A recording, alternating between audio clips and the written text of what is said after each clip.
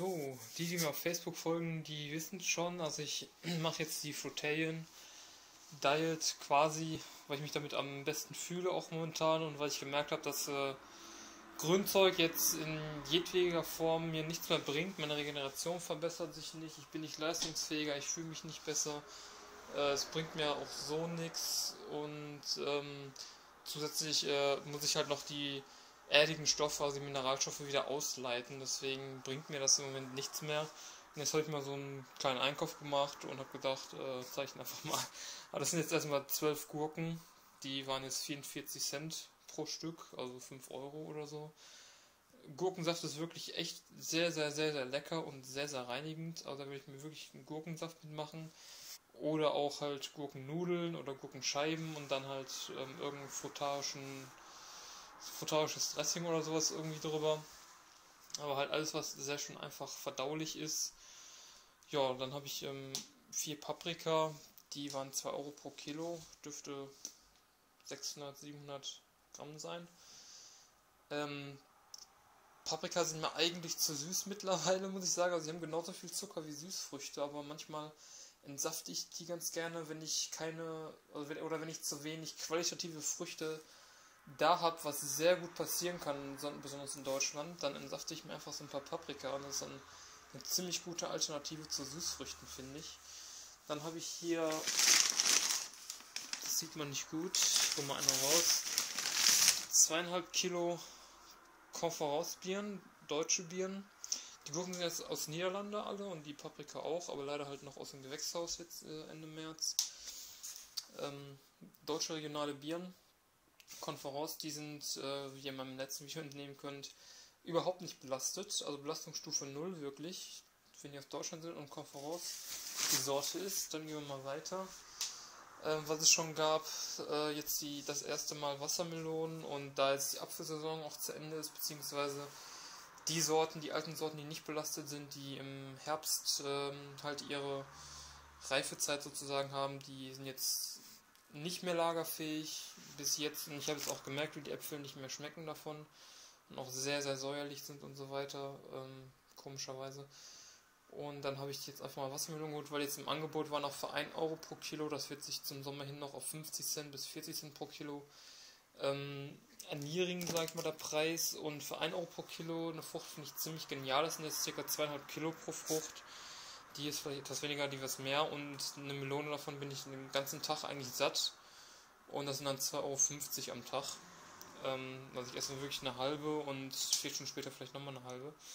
Sehr, sehr feinstofflich, gefällt mir sehr gut, besonders auch wenn man sehr viel strukturiertes Wasser bekommt. Das ist wirklich das qualitativste Wasser überhaupt. Natürlich qualitativer, wenn die Bioqualität wäre. Ähm, da muss man dann insgesamt weniger trinken, also ich habe da auch deutlich weniger Durst. Ähm, ich habe aber letzten Sommer festgestellt, dass ich ein bisschen entgiften musste nach ähm, den Melonen von Netto. Von Aldi, glaube ich, weniger habe ich in Erinnerung. Müsste ich jetzt, aber wollte ich jetzt nochmal neu testen. Das ist ja auch ein anderes Jahr und so weiter. Ja. Dann habe ich Erdbeeren ähm, aus Spanien. Die auch mit nehmen könnten, die aus Deutschland sehr belastet, die aus Spanien gehen zur Not noch. Das ist jetzt so ein Backup-Plan, die werde ich in Prüfung stellen. Gucken, wie lange die sich halten. Ja. Ähm, die haben jetzt aber leider 4 Euro pro Kilo gekostet, aber das war es mir jetzt wert, so als Bäckerplan, weil ich Beerenfrüchte allgemein auch ziemlich genial finde und die sind auch relativ mineralstoffreich.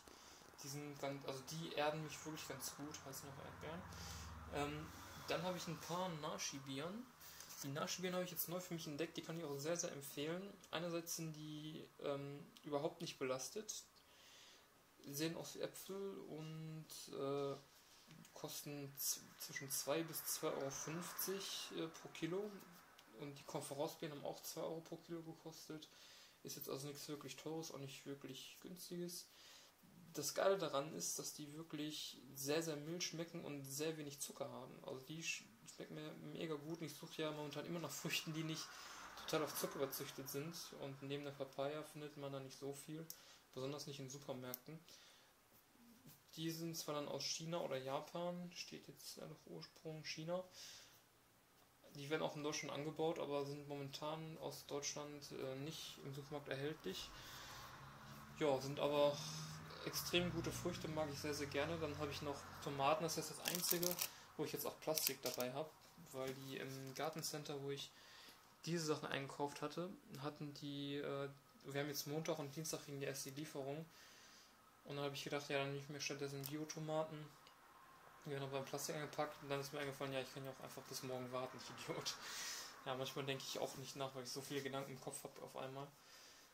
Ja, habe ich jetzt halt im Plastik mit, habe aber nur, waren im Angebot für 1,30 Euro jetzt die sechs Tomaten, Biotomaten, das geht. Also die Wassermelonen, die sind meistens halt, also besonders für die meisten Leute sehr, sehr gut und nahezu überhaupt nicht belastet. Die Naschibieren nicht.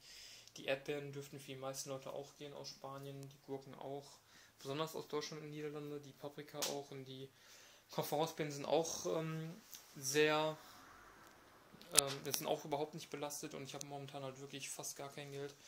Deswegen habe ich jetzt diesen, ich sag mal, schlauen Einkauf gemacht. Heißt, ich habe mir halt da wirklich sehr viel auch durchstudiert und sehr viel auch ausprobiert. Ja, ähm, ich denke mal, also ich habe jetzt ausgegeben, weiß ich gar nicht, 18, 7, 27 Euro, glaube ich, insgesamt. Und das äh, wird bei mir auf jeden Fall eine Woche halten. Also wie gesagt, eine Wassermelone einen Tag, haben wir hier zwei Tage. Ein Kilo Erdbeeren, vielleicht noch einen Tag, sind drei Tage.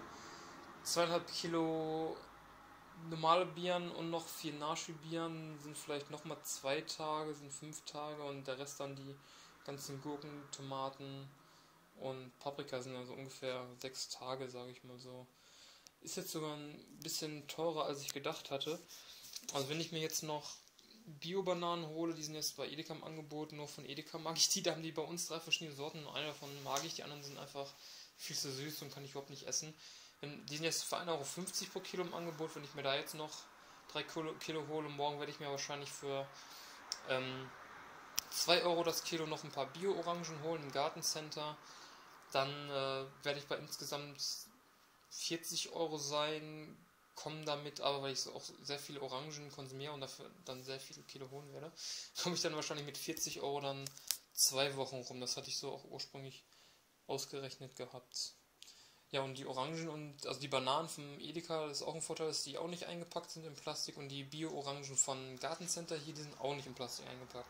Also habe ich jetzt hier nur ähm, dieses Holzdingen, da war noch so ein kleines Plastik-Sheet drauf, das habe ich dann wenigstens im Supermarkt gelassen. Und dann habe ich halt nur das hier als Plastik. Also das ist jetzt so das Beste sozusagen an konventionellen Obst, was ich, oder das Beste an Obst, was ich aus dem konventionellen Anbau und konventionellen ähm, Märkten sozusagen rausholen kann. Momentan zumindest. Ja, das war mein frutarischer Einkauf. Ich war gestern Abend bzw. heute Nacht um 3 Uhr oder halb 3 18,5 Kilometer laufen in 1 Stunde 19. Das ist eine Pace von 4,23. Ähm, wenn das jetzt ein Halbmarathon wäre, also noch zweieinhalb Kilometer mehr, dann wäre das ein Halbmarathon in 1 Stunde 31. Das wäre jetzt zügig gelaufen, aber halt nicht schnell und auch nicht am Anschlag oder so. Aber weil ich halt seit sechs Monaten oder so ähm, nicht so lange Läufe gemacht habe mehr, dann hat irgendwann die, die Abduktoren haben dann irgendwann, also hier die äußeren, ähm, die diese Bewegung hier machen, dieses Abstrecken, die haben dann halt irgendwann ziemlich, äh, die waren durchgebrannt, sag ich mal. Und danach habe ich dann wieder, bin ich nach vier Stunden Schlaf wieder aufgewacht, war wieder fit den ganzen Tag. Und jetzt habe ich auch 24 Stunden gar nichts gegessen und nichts getrunken, habe meine Einkäufe gemacht hab noch mal so Sport gemacht, hab äh, Vater gerade einen schweren Sessel geholfen zu tragen. Ich habe mega Energie. Also es hat mich wirklich, weil das, der Sport, der generiert einfach Energie wie ein Dynamo. Und normalerweise von der guten Einheit ähm, katapultiert, ich wollte gerade teleportiert sagen, katapultiert ist, kann man aber auch sagen, katapultiert es mich so in 24 Stunden Wasserfasten rein meistens, weil ich dann einfach keinen Hunger mehr habe, weil es so viel Energie generiert hat so viel Lichtnahrung quasi. Das ist halt wirklich Lichtnahrung, diese Bewegung unter anderem. Ähm, aber die Einheit war wirklich so gut, besonders auch, weil die halt so lange war, dass mich das wirklich in Trockenfasten reinkatapultiert hat. Also ich hatte noch nicht mehr mehr Durst. Ähm, ja, ich denke mal dann, wenn ich halt Durst habe oder wenn ich halt Bock habe, irgendwas zu trinken, dann mache ich das heute noch oder ich würde halt einfach eine halbe Wassermelone essen.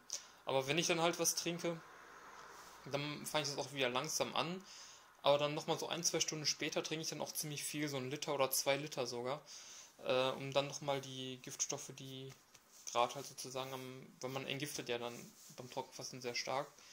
Und ähm, die ganzen Giftstoffe werden aber direkt in den Zellen verbrannt, weil halt zu wenig Wasser da ist, um das sozusagen effizient über die Nieren auszuleiten, was natürlich immer noch passiert, aber zu einem geringeren Grade. Und dann plötzlich, wenn, er, wenn man halt aus, ähm, aus dem Trockenfasten rauskommt, das Wasser hinzuführt erstmal durch das Fastenbrechen, dann ist ja trotzdem noch die Vergiftung, die Entgiftung immer noch ähm, genauso am Laufen und dann werden die ganzen Giftstoffe wieder über die herkömmlichen, über die konventionellen Wege eingeleitet, also über, das, über den Blutkreislauf transportiert. Und deswegen ich, trinke ich dann auch wirklich dann so ein bis zwei Liter und dann geht es mir damit am besten mich am leistungsfähigsten. Dann denke ich mal, dass ich dann zuerst doch Wasser trinken werde, ein bis zwei Liter und dann noch eine halbe Wassermelone oder so. Oder vielleicht esse ich heute. Also ich habe jetzt. Moment, ich gucke kurz auf die Uhr. Ja, okay, in einer Stunde habe ich, in einer Stunde und 17 Minuten habe ich in 24 Stunden erstmal nichts gegessen, nichts getrunken. Und dann gucke ich mal, wie das nach Gefühl ist. Ja, das war mein Einkauf und mein kurzer Bericht zum frutarischen Lifestyle, weil ich jetzt so drei Wochen mache. Also ich muss, also ich schlafe halt wirklich jeden Tag nur vier Stunden, bin fit und mache halt diesen ganzen Sport. Also ich mache jeden Tag jetzt Sport, auch auf Leistung wieder. Und ich muss sagen, ich bin extrem glücklich. Allein schon, wenn ich die Früchte sehe, wie geil das aussieht. Durch die Kamera jetzt ein bisschen weniger.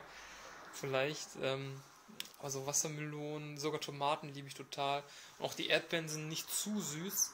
Die Wassermelonen, da gibt es halt manche, die sind aufs Süße gezüchtet, besonders auch die kernlosen, denke ich mal.